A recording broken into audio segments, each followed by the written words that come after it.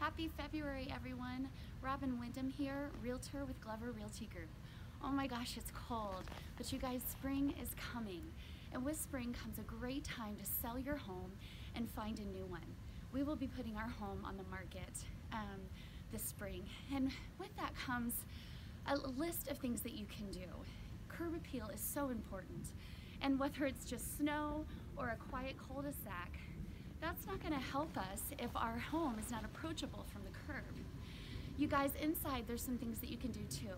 Depersonalizing, taking those family photos down, minimizing, getting rid of the clutter, and painting if necessary. Remember, less is more, and neutral and clean are best.